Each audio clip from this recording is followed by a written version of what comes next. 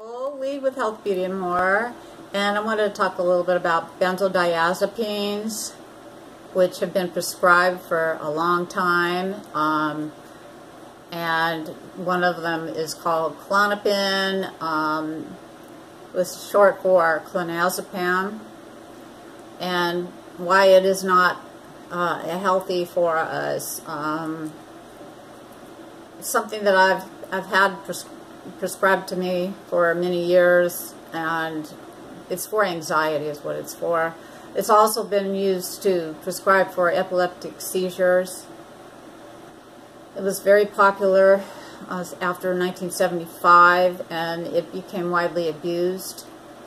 I think it's a class 3 drug, and Stevie Nicks was a 70s era rock star that was addicted to Klonopin, and she was in the Betty Ford uh, clinic for a long time and doing her um, her solo album In Your Dreams. At that time, she she blamed Klonopin for the fact that she never had children.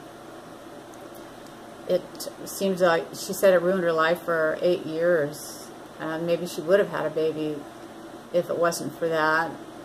So she, in 86 is when she overcame her cocaine addiction, and after that she was released and when was prescribed a series of benzos, first Valium, the Xanax, then later Klonopin, uh, to help support her sobriety. But she said it turned her into a zombie. So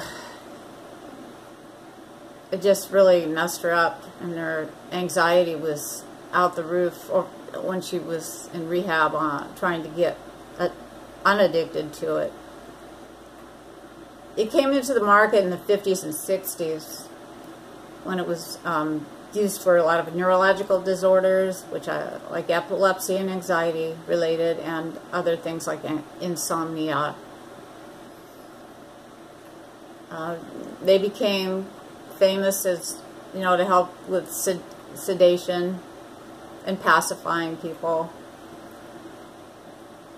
a lot of people came into using it as a detox item when they were trying to get off alcohol or drug addictions.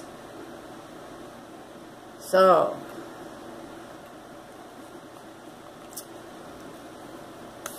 talking about clonazepam, you can also buy it under a name of Rivotril. It's, it's very similar.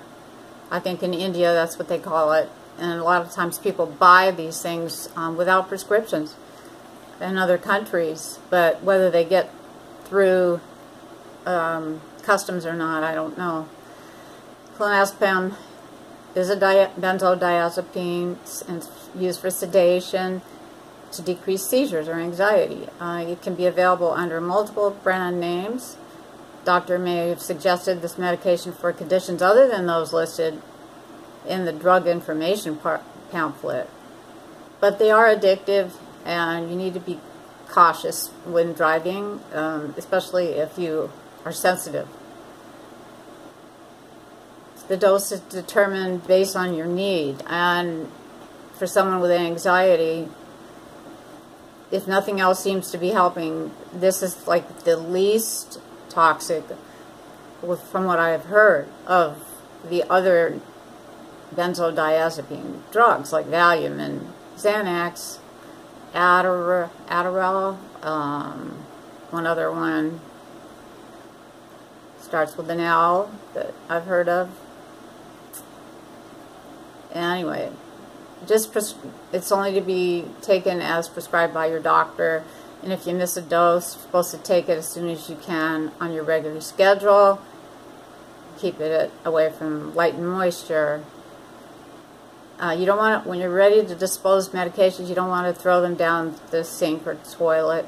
It, I think it's better just to go right to the police department because they have a place there where you can dispose medications.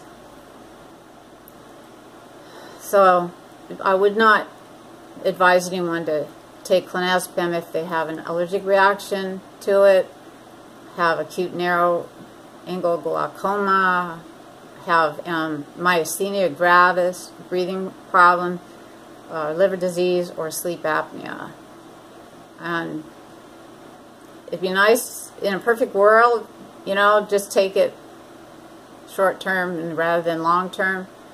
But it isn't that way for most cases. Some people do have side effects with them. You know, drowsiness could be one of them. Inability to focus, maybe. Clumsiness, unsteadiness, lightheadedness, um, muscle weakness. Those are things to check with your doctor on. Um, confusion or anything like cough, hallucinations, memory loss, nightmare. So, just be careful. There's a lot of stuff written on it uh, about it not being uh, very healthy to take. And it's been known to cause mood swings in some people, even depression. So I would just be beware of these things and detox, detox, detox. Use teas, turmeric, garlic, um, anything that you know that helps detox you so your liver stays clean.